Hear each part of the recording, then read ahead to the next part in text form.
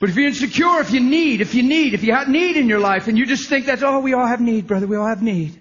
We have great need of Him, great need of understanding and all you're getting, and all you're getting. It doesn't say get more friends, and all you're getting, get more blessing, and all you're getting, get more money. It says in all you're getting, get understanding. We grew up hearing what you don't know won't hurt you. But the Bible says what you don't know is destroying you. My people are destroyed for the lack of knowledge. So if we can get the knowledge and get the understanding, we can stop destruction. And the way that seemeth right to a man won't mess us up anymore. Are you with me? I'm telling you something about being free from yourself that just then you understand what freedom is. All of a sudden you understand, oh my goodness, I'm free from me. It's not even about me anymore. It's not about prestige, esteem. It's not about a ministry name, a ministry title. It's about making Him known. It's about manifesting Him. It's about truly loving. It's about Christ in me. See, you can do all the right things and do them from wrong places. You can let ministry become your identity. You can get the, the title of something because people recognize the grace to gift in your life and it's legitimate. But that's not your identity.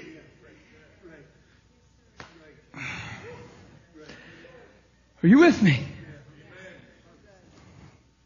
Christ in you. Guys, that's what we're going for.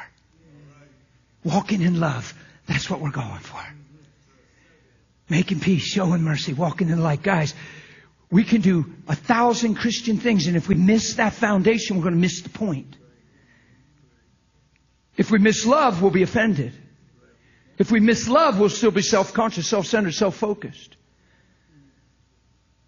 I'm not against social media. I promise you I'm not. But I see a lot of people there and ups and downs there. I don't even get on it. I'm, I'm, not, I'm not familiar with it except for some of the stuff that people talk to me about that's going on and they say, well, and I'm like, well, why are you on there? Well, why do you do it? And they're trying to look for help. And, and I'm like, if you got weakness in your, if you have insecurity, you shouldn't be on social media. If you're looking for accolade, you're, you're in the wrong place. If you're counting thumbs up, you'll see thumbs down. And if thumbs downs matter, then you shouldn't be there. I hope I'm making sense. I'm not, I'm not harping on something. I'm saying sometimes we set ourselves up because we're needy. And He really does meet my needs. He's my shepherd. I shall not want.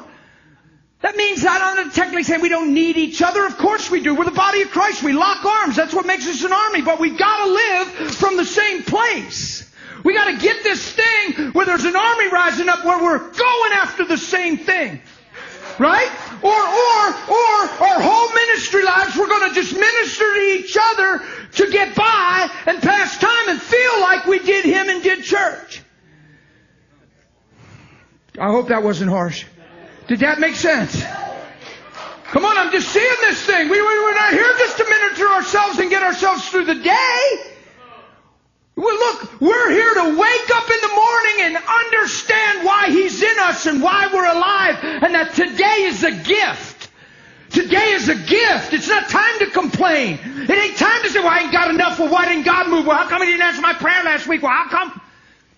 No, no, no, no, no. I'm not on the earth for Him to do things for me. I'm on the earth for Him to live through me.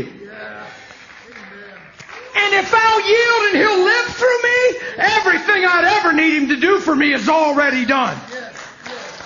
See, that's called Matthew 6. Seek ye first. Not second. Definitely not third. Seek ye first the kingdom of God. Let's simply define that. Can I just do it real simple without going into the function of the king? The kingdom of God is the expression of the king. It's the outcropping, it's the manifestation. The kingdom of God is the expression of the king. Ye first the manifestation and expression and heart and desire of the king. And guess what? And all the, and his righteousness. Don't you forget how he sees you through that blood. Don't you fail to be forgiven, washed, and free. Don't you try to do what only the blood can do. Don't you get in guilt, condemnation, and shame and wear something that He'll never put on you. You put on your righteousness. You put on your salvation. And you're never naked and ashamed again. Yeah? Whew. Come on.